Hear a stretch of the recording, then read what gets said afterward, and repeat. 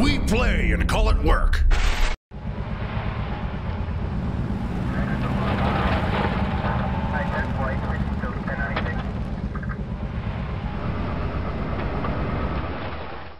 Hey everybody, Matthew here from MiniWargaming.com and welcome to this week's Sit and Talk, featuring yours truly. I'll be answering your questions that you posted last week on last week's Sit and Talk. Next week, of course, is Josh and Lee, so if you want to leave your questions for them, you can leave those in the comments below. So also just a, a little announcement as well. I've started my own personal business Twitter account. What I mean by that is we have a Mini Wargaming Twitter account, but it's for general posting of stuff that we're doing at Mini Wargaming. But I wanted a way to be able to interact even more with our viewers personally so that you know it's actually me. So lots of times on my Facebook page, like for Mini Wargaming, I'll be replying, but I got to keep like putting Matthew and then Mike has to put Mike. And so I wanted a place that you could ask me questions directly, follow my thoughts specifically if you are interested in that. So if you want to follow it, it's on Twitter at MWGMatthew with two T's. I'll try to remember to put it in the link or in the description below. And feel free to send me questions, whatever you want. I'll do my best on a regular basis to reply to as many as I can. That's my goal with that. So it's a bit of an experiment to, to try to have that more interaction. I'll still be interacting in the YouTube comments, in the Facebook comments, and on Mini Wargaming's website as well. Uh, this just kind of gives me a place to have it be that you know that Matthew Glanfield is replying specifically and not just Mini Wargaming, which is fine as well, of course. So as usual, this show will be divided into two parts. The first half an hour will be here for free on YouTube. I'll be answering your questions, and then I'll also answer another half an hour's worth of questions, or until I run out, for our Vault members at the link in the video description below. So you can check that out after here. But only leave your questions for Josh and Lee for next week on the free one. That's what we check. So let's just go into this. Thorell, hey Matt, when will the next season of Blood Bowl start? I think with the huge fan base Blood Bowl has, there, has, there are a lot of possible new Vault members out there. Um, there is one planned. Just recently, in the past couple months, I gave, I, I basically allowed our content producers, so Luca, Quirk, Steve, and Josh in particular, I said to them, pick a specialist game, supported, not supported, I don't care, find some guests, and play a season of it. So it's not going to be with everybody here. You get it'll be them, one other content producer, and then probably two, four, or two or four guests. And so Luca actually just finished filming a whole Shadespire mini tournament with uh, some guests, and I think that went really well. So you should start seeing that come up soon. I know, um, I believe Steve has been working on a Mordheim one, and Quirk has it in the barrel to do the Blood Bowl one. And so you should see, and I, th I think he's doing that with Luca and then a couple of guests. But it's not filmed yet, but it is planned. So I would anticipate it in the next three to four months. So a Blood Bowl season three. It won't be like the other ones where all the content producers get together and play it. That's something that we can only do rarely just because of our production schedule and time. Well, it's just, we only have so much time, right? And we're trying to produce a lot of stuff. So yeah, but there is one planned. So I can actually say that. Buzuki. Hi, Matt. I have been a Vault member for about three years. Awesome. Thank you for all your support, Buzuki. And this will be my first question for a sit and talk. With the not so far off release of a new Genestealer Cult Codex, what makes you think that? What are you most excited, hopeful for? Did I miss something? Is there a Genestealer Cult Codex coming out? I know the Tooth and Claw came out with some new models, and it actually gave you rules for those models as well, which is I'm excited to try that out. The new Abomination, that, that big aberrant, and they added an aberrant sergeant. So when you bring a squad of aberrants, now they can have a sergeant with that heavy improvised weapon. Uh, and the Abomination is an HQ choice, so you can actually play an all aberrant army list, which I can't wait to try because I actually have a lot of aberrants. So I just need to get some more of those sergeants painted up. The Abomination basically buffs nearby aberrants, which I love. Um, but I haven't heard anything about a new Genestealer Cult Codex. Okay, so I'm just going to, well, let's say that there is a Genestealer Cult Codex coming out. Let's answer your questions. What are you most excited or hopeful for?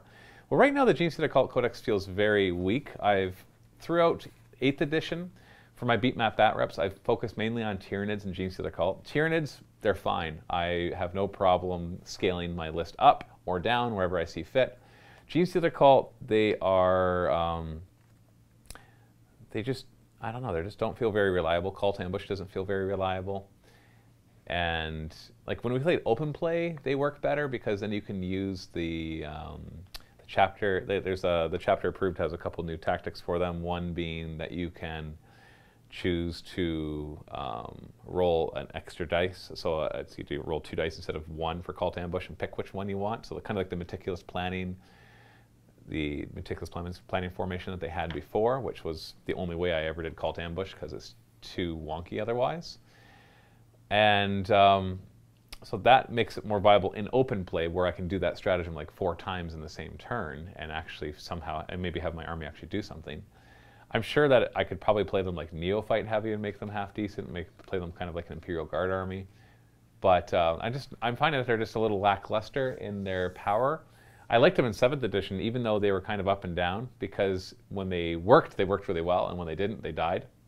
And that was kind of fun to have that randomness. But this time, it just feels like they're just so squishy, and they don't really bring anything to the table that others can't already do. So what would I want? What would I be excited for? I, like for example, I love the new Abomination Aberrant um, HQ choice.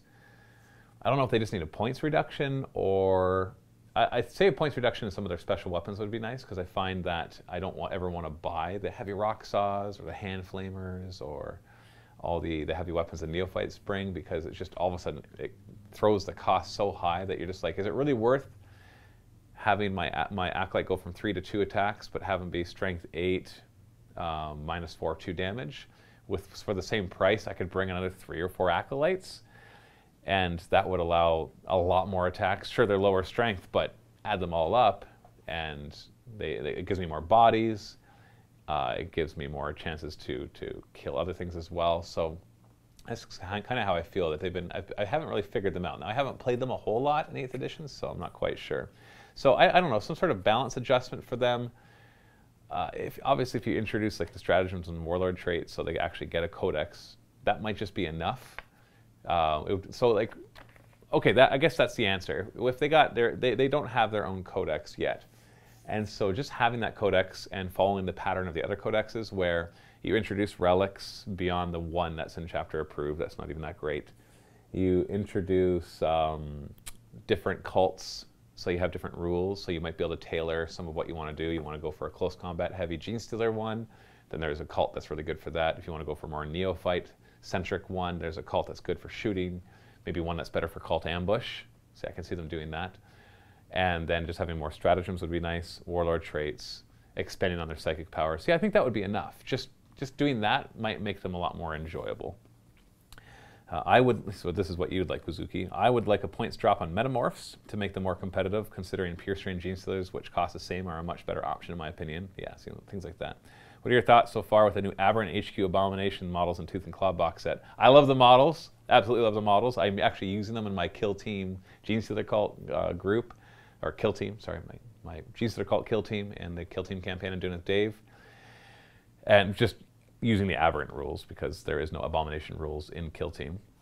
And I just love the way they look. So visually, I love the way they look. I like the idea of the rules. I haven't played them to know if they're any good, but they look pretty neat. Little Jimmy. Matt, which Age of Sigmar faction endless spells are you looking forward to seeing? For me personally, it's a Deepkin and the Wood Elves. I mean, Sylvaneth. Oh, Sylvaneth aren't Wood Elves. Uh, Wood Elves and Sylvaneth are, are totally different now. I know that I'm not just saying that you mean there's Wanderers and there's Sylvaneth, but Sylvaneth aren't elves, and I don't think they replace the elves.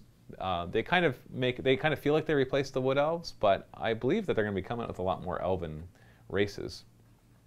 So, uh, those spells don't excite me that much. They're just like, yeah, they're cool. They look neat. So I don't really have any that I'd be excited for. It would be, it's, it's a neat concept that each book gets their own endless spells, but doesn't really have me excited. Uh, am loving the narrative campaigns. It certainly makes being a Vault member worth it. Awesome. Well, thank you, little Jimmy. On a side note, I picked up a Prince Imric from the recent made to order dragons from GW. He also came with a square base. All is not lost. Ha ha ha. Long live the square. Yeah, it's really interesting that a lot of their stuff still comes with square bases, the older models. I'm not sure if that's because they actually still have just crates and crates and crates of this stuff, or for some reason they just have tons of square um, square bases. But I've been finding, like we've been, because we've been doing a lot of rebasing, and also we've been getting a lot of new armies made, that you can often pay anywhere from 10 to 20% more than what the miniature costs just to make sure you get the right base. And I really don't like that. I, th- I think that's kind of, I think it's dumb. I know that they say you can use whatever base you want, but let's let's face it. If you're playing Age of Sigmar, they want you to play on circular bases. And even though they even though they will be fine if you go out and buy their miniatures and play on square bases, the game is designed for circular bases. They even in their FAQ are like if you don't have the right size base, then you got to pretend it's the right size base when moving it, and that's just kind of weird and hard to do. Um, and so I think that they should include for free the bases that should go with that model. So if, if it is a box and it already has the square bases inside, then they should always add on a little baggie of minis that you need for it. Because honestly, a lot of times I'll see our order, it's like, here's $100 of miniatures, and then here's $20 of round bases that we had to buy to go with those miniatures. And it's like, really, I'm paying like a 20% premium, sometimes 10 to 20% premium to buy the models because I want them on circular bases. So, so that's disappointing. So I, don't, I really don't like that they still include square bases, especially if that was if it's made to order, that makes it sound like they literally just made it and then they stuck it on and then they gave you a square base. Why not give you the the, the oval base? Like why are they still producing those bases? So it's it's just kind of strange. I am not a big fan of that. Like choose one, switch over. Don't wait till you rebox things to switch over. GBC 343, salutations Matt. I hope you are well. I was wondering your take on the current direction of the fluff for 40k as in all the major factions are pretty much business as usual, even with all the story progression. Has anything really changed? I'll be honest, the 40k lore has kind of stagnated for me. I still enjoy the books, the novels, because that just kind of ignores the overall lore and just goes into some individual story, so that's kind of neat. But um, yeah, it, it kind of feels like they, I don't know if I'd say they missed an opportunity because they can always advance the story whenever they want. Like, I don't think it needs a full Age of Sigmar treatment where you, you blow up the old world and you come back in. But when I heard that they were, I remember when they were doing, um, they were leading up to 8th edition and they were showing that warp tear through the whole galaxy. I thought it was going to change a lot more than it did. Now it's just like there are more demons. Um, but other than that, it's just like, it once again, just kind of, you know, the threat level has increased a bit, but overall doesn't feel much different.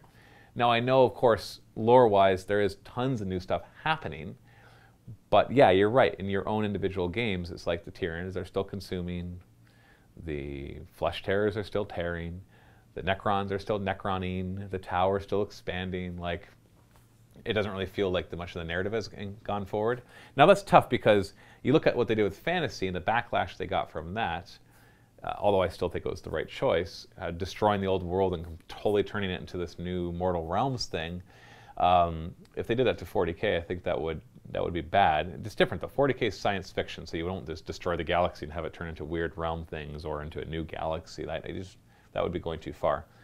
But um, I I would I because I had several thoughts of things that would be interesting. For example, I'd love to see the Imperium fall and split into sub factions. Uh, even if it's just in the two factions, I would love to see the Imperium have kind of a rebellion, a non chaos rebellion, where it's just people are just fed up with this horrible, horrible empire that is currently going on. Of course, the empire will tell you it's for the greater good, just like the Tau.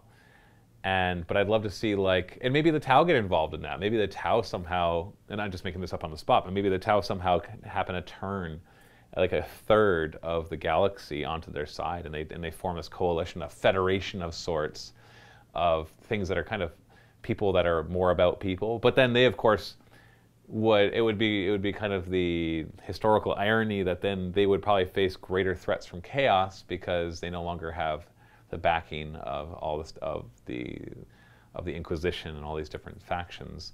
The even maybe Space Marines. Maybe Space Marines wouldn't turn, or maybe a few chapters would turn.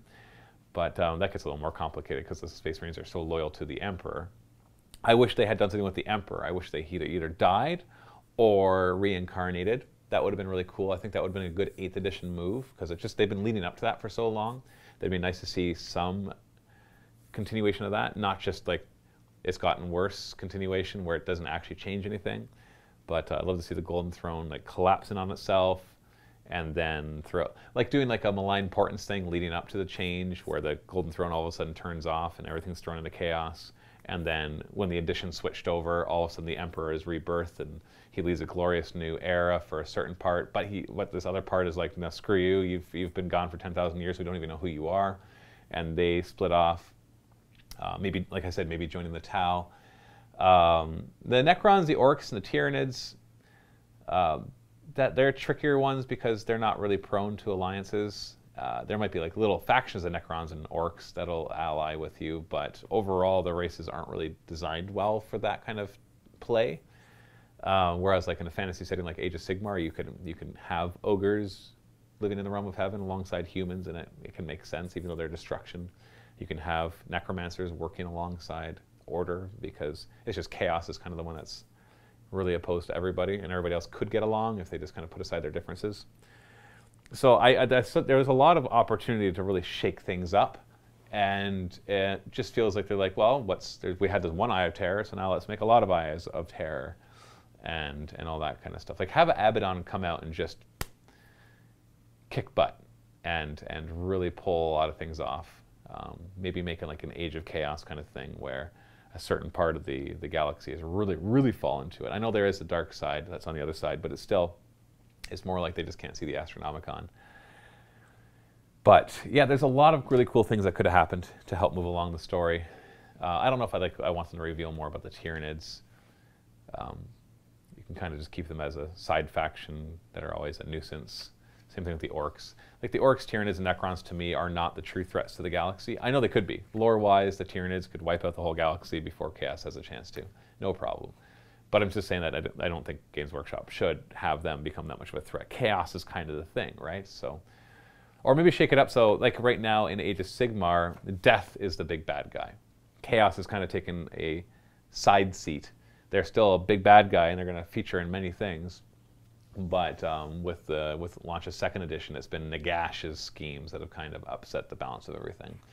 And so maybe choosing one of the factions like Necrons, Orcs, or Tyranids, maybe like Ghazghkull Thraka finally unites enough Orcs that they have another great Waaagh, bigger than like, not not as none that's been so big since the Beast Arises series, that kind of size, like Ullanor size, and have their Emperor rebirth, and it's once again this epic conflict between them. So yeah, I think they're uh, they could have done a lot more. So I, I hope that they will. Like this is what I'm trying to say. It's not like oh they, they missed their chance. Well, no, there will be more additions, and they've been going through the codexes really fast, and they're almost done all the codexes. So what happens after that? Of course, they can just start redoing the codexes, and that's probably something they will do. Not that I have any information on that, of course. But the other thing they could do is just start advancing the story a lot more, a la Malign Portents, like do like this epic build-up. Because um, you still, you know, it's only been a little over a year since 8th edition came out, so you have at least another couple of years before they would switch editions to like 9th edition or 8.5 or whatever you'd want to call it. Uh, I would I would guess that they're not going to just wait two years and redo it. It's probably going to be at least a three-year thing, maybe even four years. They got another two, they got almost at least two years to go to do things. So there's a lot of opportunity to do things more than just update codexes. I don't know if they'll introduce any new races. They could. They could, especially if they did. Some of my ideas would allow them to, but I don't see them going in that direction at all. So, so yeah. Oh, just checking my timer here. So the rest of your post here.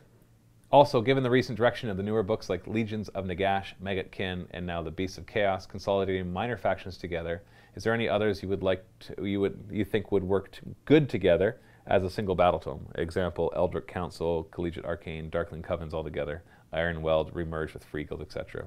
I, I think the humans need a good battle tome because uh, they don't really have one yet. Because Stormcast Eternals, I don't count that. Like, of course, they're humanish, but I mean a good Free Guild one, and that would bring in dwarves and elves into that. Um, not like the new elves, but like the tr- more traditional elves especially the Ironweld. So I'd like to see that together. And then they could also combine in the the, the magic one, the Collegiate Arcane, and all of that. Darkling Covens and all those. I don't know if you're going to see those ever get updated. To be honest, like they'll probably keep updating them in the General's Handbook just for at least the next few years. But um, I think they're going to get replaced, kind of like the Idoneth Deepkin and uh, the Daughters of Khaine kind of was a hybrid one where you had old models and new models were added, and now that, that's that's a dark elf kind of thing. Idoneth Deepkin are totally dark elf, and so we need a couple high elf equivalents. But I don't think they're just going to take the high elves and be like, okay, let's add on this, and now that is our new high elf army. I don't think that's going to happen.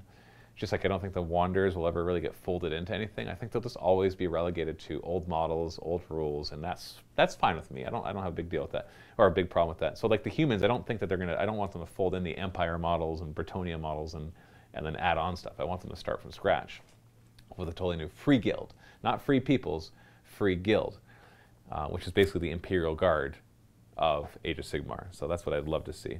Lastly, if you could swap one faction from each Grand Alliance into another, which and why? I wouldn't. They all, the only one that kind of is bloated and has factions in it that make you raise an eyebrow is Order.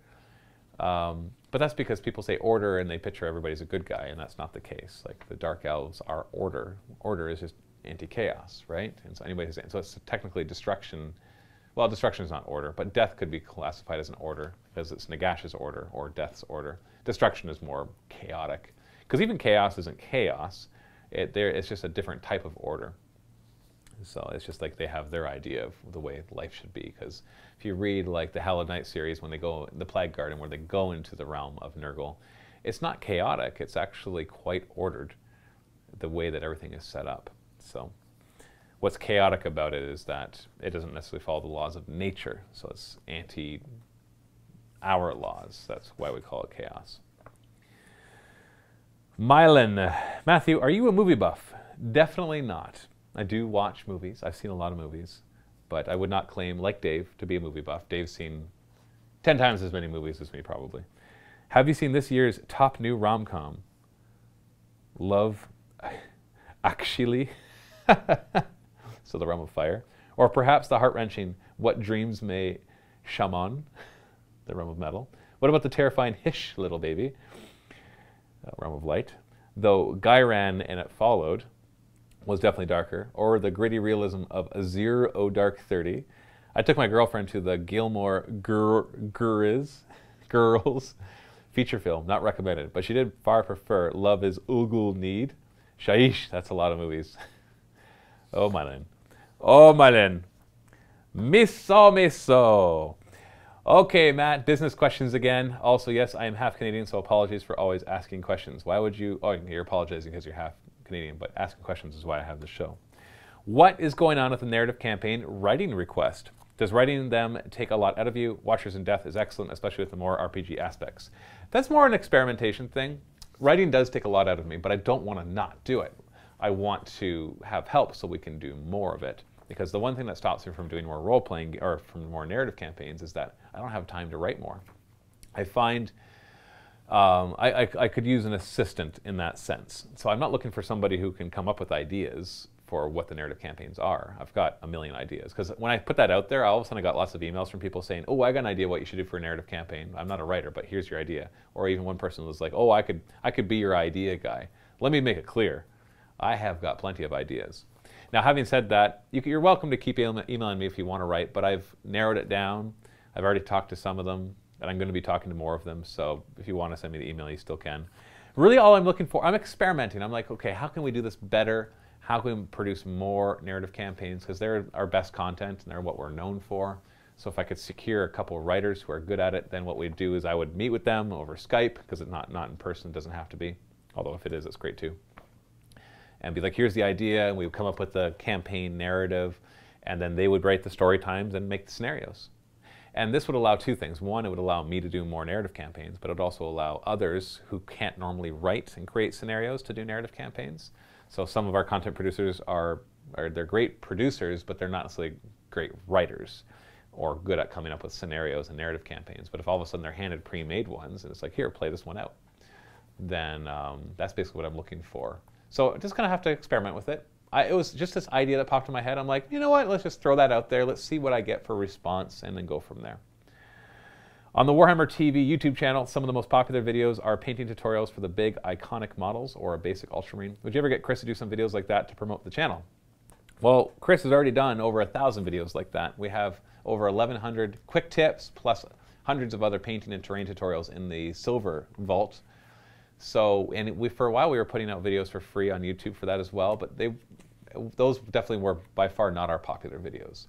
And so right now, Chris has stopped doing quick tips. Silver members still have access to the 1100 plus painting tutorial library, which to be honest covers pretty much everything there is to cover about painting. And instead, now he is working hard on a new series called the Painting Academy, which is going to be a beginner series. It's designed for somebody who's just getting into painting. And unlike other courses, the goal of it is to just help them sit down and get painting as soon as possible.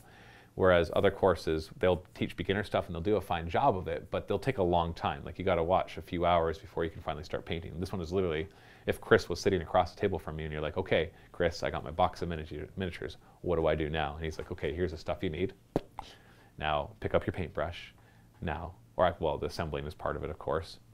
So here's how you clip the things off. Here's how you clean them up. Here's how you how you glue them. But in such a, teach it in such a way that it's as fast as possible. That we're not going to brag about how long the Painting Academy is. We're going to brag about how short it actually is to get you painting. And then after that, there will be modules. It'll be like, okay, so now that you've got it assembled, now that you got it base coated, what are you going to paint? You're going to paint, oh, you want to paint skin and fur? All right, then let's go to this module right here, and we'll just walk you through that. So it's not going to spend an hour on color theory and another hour on all the terminologies of dry brushing and, and uh, wet blending and all that. And they'll, they'll teach that when you need it at, at the moment you need it. So it's a very hands-on, practical approach. And once that Painting Academy series is done, which I'm hoping will be done in the next month or two, Silver Vault members will get it for free, of course. But then we're going to start doing classes where there'll be both group classes and more personal one-on-one with Chris.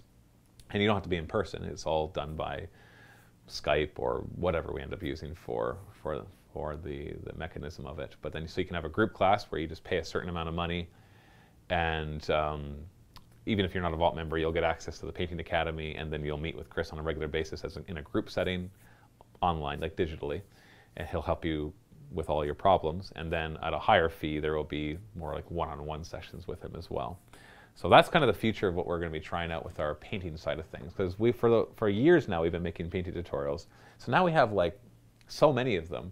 It's a huge resource for people, but it's a little daunting. It's like, hey, you're a new painter. Here's 1,500 painting tutorials. And this is like, holy crap, which ones do I look at? Like all the information you need is in there, but it's like giving you a dictionary to help you learn to read.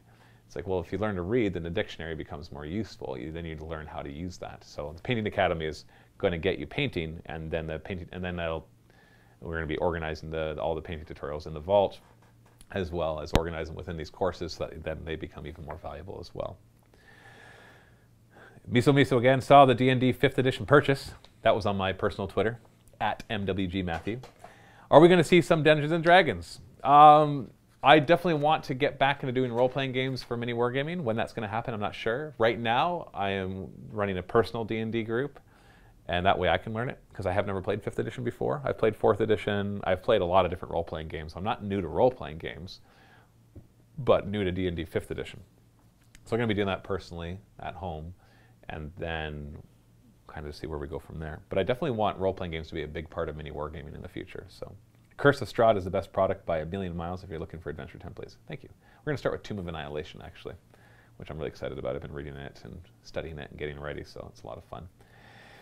In the post-bunker universe, what are the business plans for the company? What do you think you will do next, and what would you like to do next? Well, the bunker kind of expands on what we want to do with the business. First off, it expands on our ability to make videos, because we'll have six studios instead of four. Um, we'll have, obviously, the basic idea of the bunker is that when guests come in to play against us, now they can stay with us instead. So it, it does, it's two things. It gives them a, a, a, place to stay that's not like at a hotel that they then have to find a way here. And it helps us make a little extra money as well because they're paying us to stay here. Because obviously we need to do that, running it that way. But the second thing, or third thing, or whatever, the other part is going to be running events. So there'll be all sorts of levels of events. There'll be like your basic tournaments and stuff. There's going to be a storefront there and everything, run by Max Aggression at first, at least. Um, just kind of see where it goes from there. And uh, we'll be running events that uh, some simple ones like tournaments, that kind of stuff. But then I'll, the other thing that's going to be really cool is it's going to allow us to do things like people have always asked me if they can come in for narrative campaigns, and I've always said no because it's it's too hard to coordinate that. But with a new place, that's not the case. That we'll be able to actually, we'll actually be able to have events that you can, you can book for and come in and be part of narrative campaigns and painting courses and all sorts of other stuff. So we, we plan on turning it into an events thing year round where we're going to be running all sorts of things. And there could be also, once again, all sorts of different price points. You know, you just want to come in for something basic and stay in the rooms, there's a price point. But then there's going to be higher ticket items as well to allow you to get access to some of the really one-on-one stuff, like being able to do certain narrative campaigns combined with maybe being part of a role-playing campaign in the evening. It allows us to, like right now, a guest comes in, they play with us during the day, five o'clock hits, we all go home and we say, see you later, we'll see you tomorrow, if they're coming back the next day, and they have to find something to do. Well, at the bunker, there is an open gaming area, or there will be other events that we're running that they can pay for and, and, and join in on. Uh, there's a store, uh, and there's also nearby Niagara Falls, which is, of course, a big tourist attraction, which um, so you can convince your significant other to come down as well. And yeah, so that's kind of like the next stage in the business is adding all this other stuff. Right now, our main revenue source is the vault. That'll probably continue to be the case for the next few years. And then we're not going to abandon the vault, of course, but uh, hopefully then the bunker allows us to generate another revenue stream. And the nice thing is they feed on each other. And that is, as we sell more of these events, it allows us to then, we can take those events that are running and we can record more videos and make more content. For example, uh, if let's say I want to do a Gorkamorka campaign, um, I put out the thing saying I wanted a couple people. I got tons of emails wanting to do it, and I could only choose a couple people to come in. Well, at the new place, I can be like, okay, we've got 20 slots for a Gorkamorka campaign. So what'll happen is you'll come in for the week, and um, you'll you'll be playing like off camera for 80% of it, and then we'll rotate everybody in, or the top tables for certain tournaments or whatever, into the studios to film with content producers as well. So you kind of get to just play a lot of Gorkamorka, and then we're filming a bunch of Gorkamorka in the studios. We won't film every last game that's being played because there will be literally hundreds of them, and um, so you as a viewer gets to see a huge variety of Gorkamorka mobs, and you get, and then we'll do the final games of the top mobs, so you can see that showdown at the end. So all of a sudden we can create more content because people are paying to come in to be part of this, and that money can then be used to hire more people to take care of them and to film, and that's more videos for you guys. So that's what I'm excited about most is the synergy between the two. It allows us to build both sides of the business because then if there's more videos, then more people will sign up for the vault which will make us more money, allowing us to hire more people, allowing us to make more videos, allowing us to run more events. You get the idea. So that's, the, that's basically the idea. We'll see how it actually turns out. We've never done this kind of thing before, so we'll figure it out. We'll, we'll see. Uh, regarding that, Miso Miso still, Ian Livingstone, Fighting Fantasy, in a recent business presentation said that game creators retaining control of their IP and promoting them is one of the most important factors in game design. Given that, would you ever reopen Dark Potential or maybe a new game? deluxe board game, miniatures, and use mini wargaming to promote the game and the IP while retaining control. The Watchers and Death rules could be amazing reskinned and slightly simplified into a Warhammer Quest style board game. More business, Matt. Expand the empire. Um, I've I, I, get asked this question every once in a while in related to in relation to like, will we ever do Dark Potential again? Will we ever make miniatures? And the answer is, it's not off the table, but it sure isn't anywhere near the table, or at least the front part of the table right now that the bunker is going to have to be our primary concern. It's expensive going into these new ventures. Like the bunker is going to increase our costs. And doing the miniatures and all that kind of stuff, that's very expensive to get into. And I don't want to just get into it by doing a couple models here and there. I want to, I'd want to really get into it. I say that right now. Ask me again in six months, that might change, of course. And so I picture that the bunker will occupy a lot of our business investment for the next five to 10 years. And then maybe around that time, depending on how the business has grown or not, that will then dictate what we do next. Because um, yeah, I always I agree. I always want to expand more. Making your own IP obviously is very powerful, and if we've built up a nice big audience by then, well, then maybe that that'll give our our our launch board for that new IP. But that's not something I'm looking at doing right now. I think we're just about out of time for the first half hour. Oh, geez, we're over time. Okay, thank you so much for your questions. I'm going to be answering even more just for our Vault members at the link below in the Sit and Vault. I'll see you there.